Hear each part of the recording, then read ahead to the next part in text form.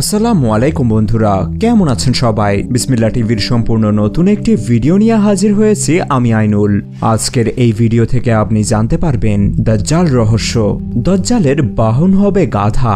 এছাড়াও এই ভিডিও থেকে আপনি জানতে পারবেন দজ্জাল বর্তমানে কোথায় অবস্থান করছে। তবে শুরু করা যাক। সর্বপ্রথম আমাদেরকে যেই কথাটি জেনে রাখা দরকার, দজ্জাল কোথায় আছে এবং কোথা থেকে সে বের হয়ে আসবে। ফাতিমা বিনতে কায়াস রাদিয়াল্লাহু আনহা বলেছেন, আমি রসুল সাল্লাহু আলহিসাল্লামকে ঘোষণা দিতে শুনেছিলাম যে, সালাতের জন্য মসজিদে যাও। অতপর আমি মসজিদে গেলাম এবং রসুল সাল্লাহু আলহিসাল্লামের সাথে সালাত আদায় করলাম। তারপর সালাত শেষে তিনি মিম্বরে উঠে বসলেন এবং মৃদু হেসে বললেন, তোমরা সকলেই যার যার সালাতের স্থানে বসে থাকো। তারপর বললেন, তোমরা কি জানো, আমি তোমাদেরকে কেন একত্র করেছি? তখন সাহাবিগঞ্জ জবাবে বললেন, আল্লাহ এবং তার রসুলই ভালো জানেন। তখন রসুল্লাহ সাল্লাহু আলহিসাল্লাম আরজ করলেন, আল্লাহর কসম, আমি তোমাদেরকে কিছু দেওয়ার জন্য অথবা কোনো ভয় ভীতি প্রদর্শন করার জন্য একত্র করি নাই। বরং তামিম দারির একটা ঘটনা তোমাদের শোনানোর জন্যই আমি তোমাদেরকে একত্র করেছি। তামিম দারি ছিল একজন নাসারা ব্যক্তি। সে আমার কাছে এসে ইসলাম গ্রহণ করেছে। সে আমাকে এমন একটা ঘটনা শুনিয়েছে যা ওই কথার সাথে মিলে যায়, যা কিনা দজ্জাল সম্পর্কে আমি তোমাদেরকে শুনিয়েছিলাম। তখন হজরত মোহাম্মদ সাল্লাহু আলহিসাল্লাম সেই তামিমদারি নামক নও মুসলিম ব্যক্তির বর্ণিত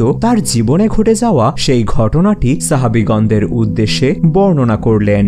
নবীজি বললেন, তামিমদারি আমাকে বলল, একদা সে লাখাম এবং জুজাম গোত্রের ত্রিশ জন লোকের সঙ্গে একটি সামুদ্রিক নৌকায় সফরে বের হয়েছিল। প্রাকৃতিক দুর্যোগের কারণে সাগরের তরঙ্গ তাদেরকে দীর্ঘ এক মাস পর্যন্ত এদিক সেদিক ঘোরাতে থাকে। পরিশেষে একদিন সূর্যাস্তের সময় তারা একটি দ্বীপের কাছে গিয়ে পৌঁছল। তারপর তারা তাদের বড় নৌকার গায়ের সাথে বাঁধা ছোট ছোট নৌকাগুলোকে নিয়ে দ্বীপটার অভ্যন্তরে প্রবেশ করে এবং সেখানে এমন একটা প্রাণের সাক্ষাৎ পায় যার সমস্ত শরীরে বড় বড় লোমে আবৃত ছিল। তার লোমগুলো এতটাই বড় ছিল যে তার মুখ এবং পেছন কোনো কিছুই বোঝা যাচ্ছিল না। তখন তারা তাকে লক্ষ্য করে বলল, তোমার অমঙ্গল হোক, কে তুমি? প্রাণীটা জবাবে বলল, আমি গুপ্ত সংবাদ অন্বেষণকারী। তোমরা ওই ঘরে আবদ্ধ লোকটির কাছে যাও। সে তোমাদের সংবাদ জানার জন্য অপেক্ষা করছে। তখন তামিমদারি বলল, সেই প্রাণীর কাছে? লোকটার কথা শুনে আমাদের মনে ভীতির সঞ্চার হয় যে সে শয়তানও হতে পারে। তখন আমরা দ্রুত সেখানে গেলাম এবং সেই ঘরে প্রবেশ করলাম। সেখানে এমন একটি প্রকাণ্ড দেহ বিশিষ্ট মানুষ দেখতে পেলাম, যা আমরা ইতোপূর্বে কোনো দিন দেখি নাই। সে খুবই শক্তভাবে বাঁধা অবস্থায় ছিল। তখন আমরা তাকে বললাম, তোমার অমঙ্গল হোক, কে তুমি? সে বলল, নিশ্চয় তোমরা আমার সম্পর্কে জানতে পারবে। আমি তা গোপন করব না। তবে তোমরা আমাকে প্রথমে বলো, তোমরা কারা? তখন তারা বলল, আমরা আরবের লোক। আমরা সমুদ্রে একটি নৌকায় সফরে ছিলাম। দীর্ঘ এক মাস সাগরের ঢেউ আমাদেরকে এদিকে সেদিকে ঘুরিয়ে এখানে এনে পৌঁছেছে। তারপর আমরা এই দ্বীপে প্রবেশ করলাম। অতপর সে বলল আচ্ছা তোমরা আমাকে বলো দেখি, বাই সান বাইসান এলাকার খেজুর গাছে ফল কি এখনও ধরে? বাইসান হলো হেজাজের একটি জায়গার নাম।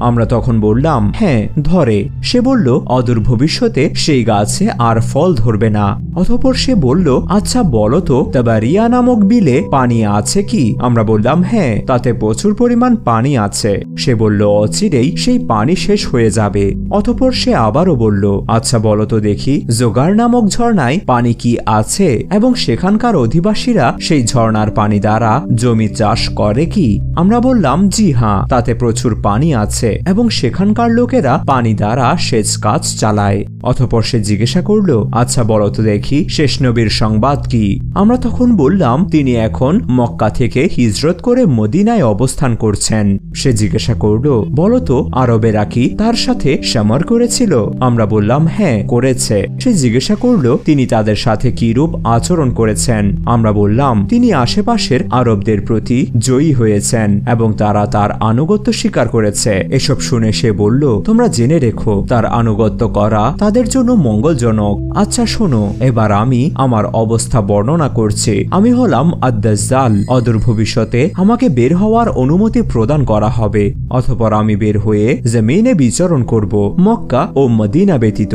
চল্লিশ দিনের মধ্যে পৃথিবীর সব স্থান বিচরণ করব। কিন্তু মক্কা মদিনা আমার জন্য প্রবেশ নিষিদ্ধ করা হয়েছে। যখন আমি এর কোনো একটিতে প্রবেশের ইচ্ছা পোষণ করব, তখন ফেরেশতাগণ উন্মুক্ত তারা বাড়ি হাতে নিয়ে আমার প্রবেশ বাধাগ্রস্ত করবে। সুতরাং তার প্রতিটি প্রবেশ পথে ফেরেশতারা পাহারারত রয়েছেন।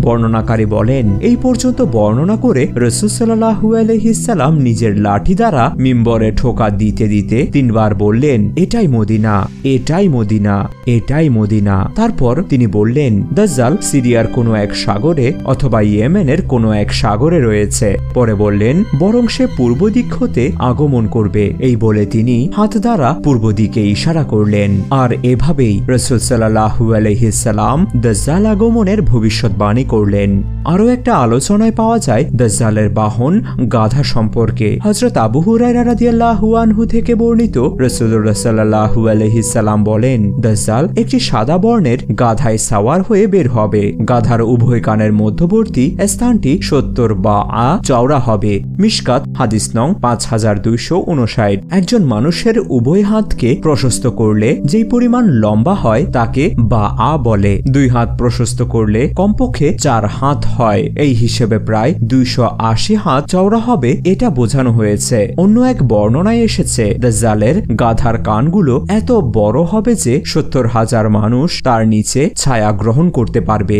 হজরত আবদুল্লাহ বিন মাসুদ আনহু থেকে বর্ণিত রসুল সাল্লাহু আলহিসাল্লাম বলেছেন দাজ্জালের গাধার এক একটা পদক্ষেপ তিন দিনের ভ্রমণের সমান হবে। সে তার গাধার পিঠে সাওয়ার হয়ে এমন ভাবে ঢুকে যাবে যেমন তোমরা ঘোড়ার পিঠে চড়ে পানির ছোট নালায় ঢুকে পড়ো।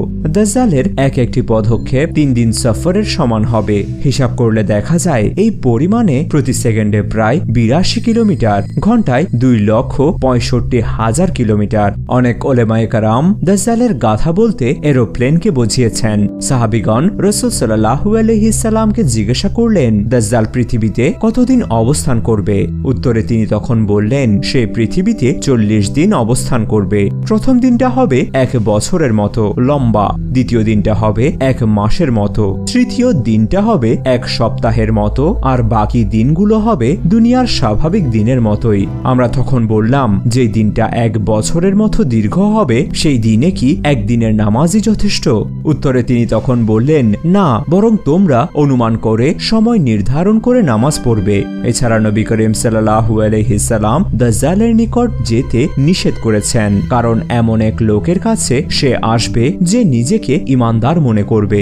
দাজ্জালের কর্মকাণ্ড দেখে সে বিভ্রান্তিতে পড়ে ইমান হারা হয়ে যাবে। মুমিনদের জন্য উত্তম হলো সম্ভব হলে সেই সময় মদিনা অথবা মক্কায় বসবাস করার চেষ্টা করা। কারণ দাজ্জাল সেখানে প্রবেশ করতে পারবে না। ইসলামকে সঠিকভাবে আঁকড়ে ধরা এবং ইমানের উপর অটল থাকাকেই দাজ্জালের ফেতনা থেকে বাঁচার একমাত্র উপায় বলা হয়েছে, যে মুমিনগণ আল্লাহর নাম এবং তার অতুলনীয় সুমহান গুণাবলী সম্পর্কে জ্ঞান অর্জন করবে, সে অতি সহজেই দাজ্জালকে চিনতে পারবে, সে জানতে পারবে, দাজ্জাল খায়, পান করে, সবকিছুই বুঝতে পারবে। মুমিনের আকিদা এই যে, আল্লাহ তালা পানাহার এবং অন্য কোনো দোষ গুণ থেকে সম্পূর্ণ পবিত্র।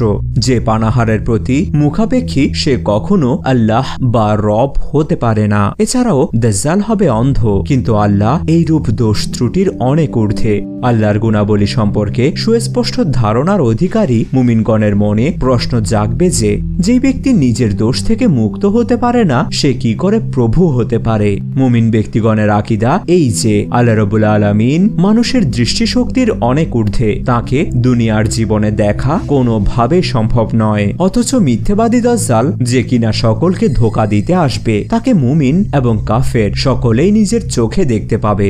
আল্লাহ রবুল আলমিন আমাদের সঠিক বুঝে সঠিক আমল করার তৌফিক দিন এবং দাজ্জালের ফেতনা থেকে সর্বদা রক্ষা করুন। আমিন। এমন শিক্ষণীয় ও জ্ঞান নির্ভর ইসলামিক ঘটনা নিয়ে নিয়মিত বিসমিল্লা টিভিতে হাজির হব ইনশাআল্লাহ। তাই যদি বিসমিল্লা টিভিকে এখনও সাবস্ক্রাইব না করে থাকেন, তাহলে এখনই সাবস্ক্রাইব বাটনে ক্লিক করুন এবং বেল আইকনে ক্লিক করতে ভুলবেন না। ভিডিওটি যদি ভালো লেগে থাকে, তাহলে বেশি বেশি লাইক এবং কমেন্ট করুন, যাতে ভিডিওটি ট্রেন্ডিং হয়ে লক্ষ লক্ষ মুসলমানের কাছে পৌঁছে যায় এবং আপনার বন্ধুদের সাথে শেয়ার করবেন, যাতে তারাও নিজেদেরকে সঠিক পথে পরিচালিত করার একটি দিক নির্দেশনা পায়। আপনাদের কাছে এই পাওনাটি আমাদের পরবর্তী কাজের উৎসাহ যোগাবে এবং আমাদের অন্যান্য ভিডিওগুলো না দেখে থাকলে দেখে নিতে পারেন এখনই।